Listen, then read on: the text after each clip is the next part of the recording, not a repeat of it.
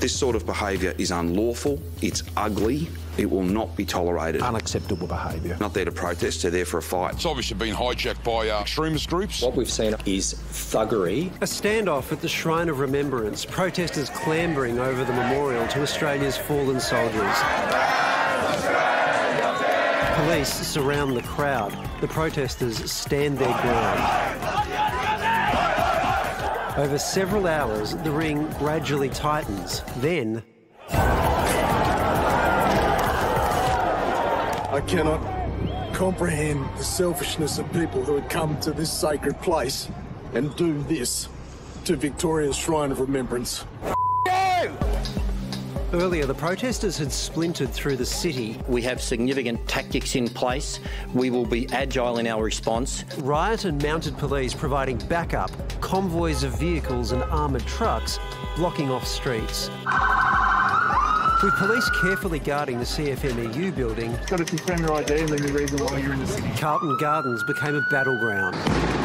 Officers quick to swoop on a crowd much smaller than the thousands who swamped the city yesterday. But that proved to be just a hint of what was to come. Day three of chaos and confrontation after the construction industry was shut down for two weeks over COVID non compliance and mandatory vaccinations. 350 cases in construction, over 150 different sites during August and September. This is real. But today, more than ever, a prevailing sense that what was an uprising of tradies has become something else entirely. John Roose is an expert on the far right and senior research fellow at Deakin University, and he joins us now. Josh, it seems unclear how many of these protesters are actually construction workers and how many are far right agitators. What's your assessment?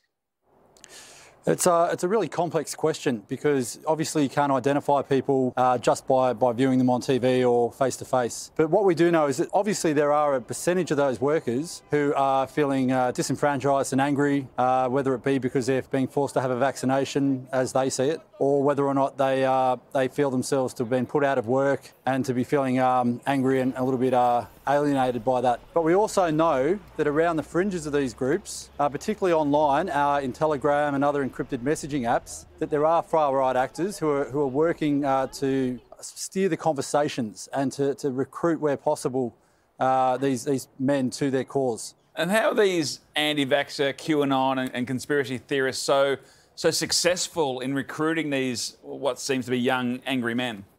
Yeah, the key here is anger. Uh, obviously, emotion plays a big role. Melbourne's obviously facing uh, potentially the world's longest lockdown of any city, and emotions are heightened across the city. However, there is a gap emerging uh, between those of us who can stay at home and work, or you know, people who are stuck at home who are unable to work. So there's a deep-seated level of anger, resentment, and frustration uh, stewing out there in the community. Now, these groups are really skilled, in particular uh, the far right, at, at, targeting that anger and representing their narratives and their ideas uh, to, to, encapsulate that anger and to give young men a, someone to blame. And uh, obviously, at this point, they're, they're looking to blame the government and the unions. Does it surprise you that it's showing up in the construction industry, though, Josh, given the construction industry is one of those industries that has actually continued uninterrupted through all of Melbourne's lockdowns until now?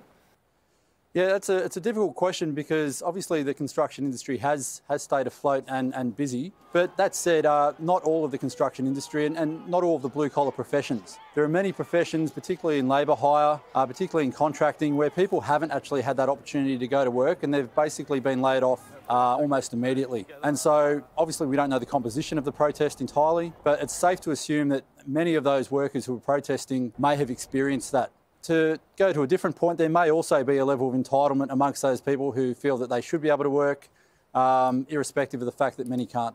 Josh Roose, really appreciate you sharing your insights this evening. Thanks for joining us. Thanks for your time.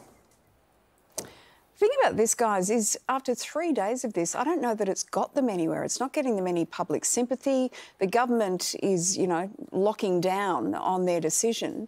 I just don't get what the purpose is, apart from upsetting a lot of people who are already doing it tough in lockdown. And then there's the arrests. We're just hearing 200 arrests um, yeah. associated with this now. So that, that there is a big toll there. But maybe the question is not what are they going to achieve from the point of view of the construction industry. If it's a group that's being infiltrated for other purposes, then what they achieve is those other purposes. And so, you know, we're now having, we're in the midst of a really full on argument now in Australia about vaccination and about mandatory vaccination in workplaces that we probably weren't having a week ago. Maybe, that maybe that's the success that they, they're looking for. Do we see it calming down, or is it just going to escalate further?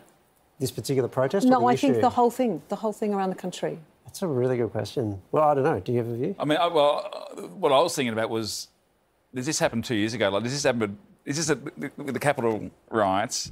Today had a feeling about it. Didn't get uh, as extreme as that, Yeah. but it had it had a feel to, about that. And I wonder if this happens two years ago. So that would mean you think it's going to escalate to, I to suspect so. disinterest. Yeah. Well, how do you?